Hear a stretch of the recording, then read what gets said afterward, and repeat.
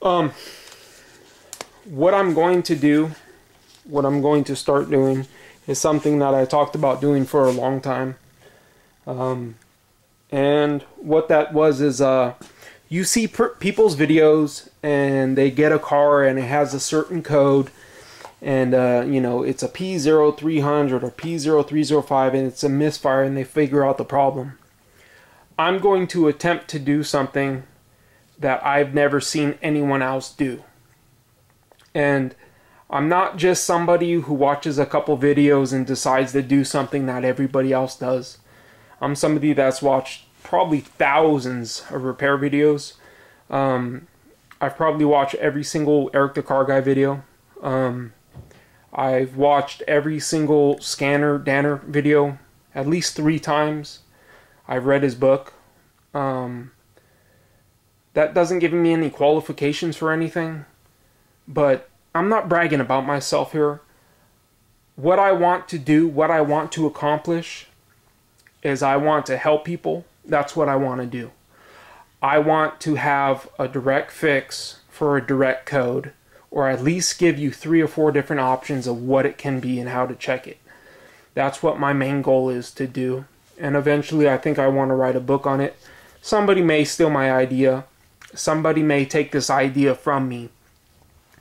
But what came to my mind is why wait for cars to have problems? Let's cause the car to have a problem.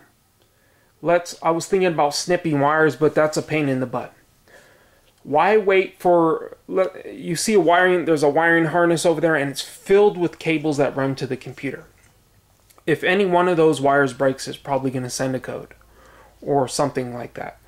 Most often, it's going to set a code. If it's grounded, it might cause a short circuit, and that may cause some issues.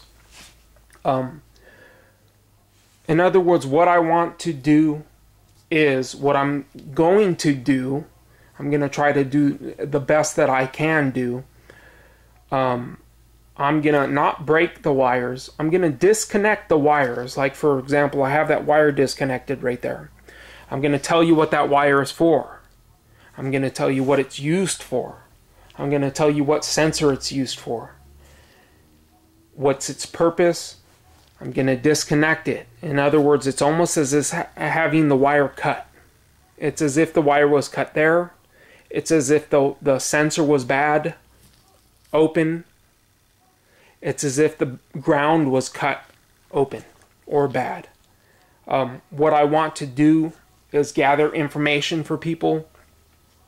This has nothing to do about me bragging or anything, but in all honesty, I've never seen other people do this. And I'm proud to say that, you know, I'm doing it. But I encourage other people to do it. I'm one person. I'm one person. I encourage other people to do this, and I encourage other people to contribute their information so that we can all learn so that we can all learn from each other. And I, I some of you are saying, "What's going on right now? I don't understand what you're doing." Uh, code is set when a wire is broken or grounded or open or the sensor is open or grounded or broken. It causes a problem, but you don't know the fix for the problem. You have to buy special tools. You have to buy a scope. You have to buy uh, certain things from from companies like the uh, Snap-on. Uh, the the you have to subscribe to certain things. You got to pay money. You got to do this. What I want to do is I want to try to offer that information for free. Um, so we're gonna start with this mass airflow sensor. It's uh, three wires are dedicated to the mass airflow sensor. Two wires are dedicated to the um, intake air temperature sensor.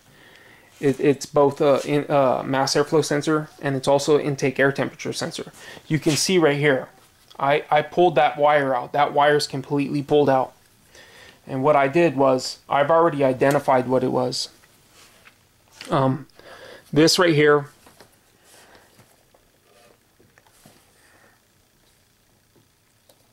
and I'll actually show you how I how I identified it. Try to get the light out here. Um, So we have, this is on a lot of different vehicles. Now, I made a video about this uh, a while back. Um, this is the intake air temperature sensor right here. Okay. And then I went across those two wires right here. You connect the ohm meter across those two. And I figured out it was these two right here. This is the 5 volt reference and this is the ground.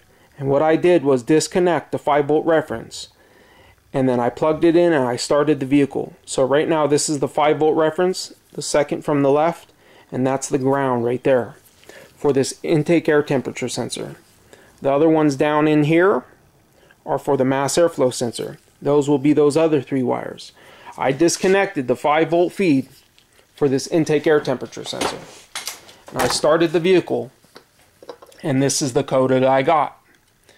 And this code will be set if that white for the if that wire for the 5 volt reference is broken. Also the code will be set if the ground is broken. Also it'll be set if the sensor itself is uh, open, not shorted, but open. Now on the other hand, you would have you would probably not have any communication with the computer. You probably would not have any communication with the computer if it was shorted to a ground.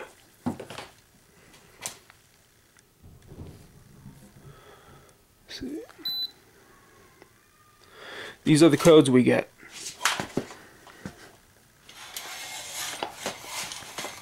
We have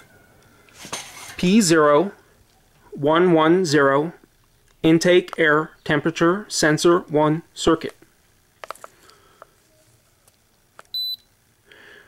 P0100 generic mass or volume airflow circuit. P0101 generic mass or volume airflow circuit range performance. If you got any one of those codes, you might want to look at the 5 volt reference for that particular uh, wire. The 5 volts for the intake air temperature sensor. Thanks for watching my videos. There's more of these to come. Comment, rate, and subscribe.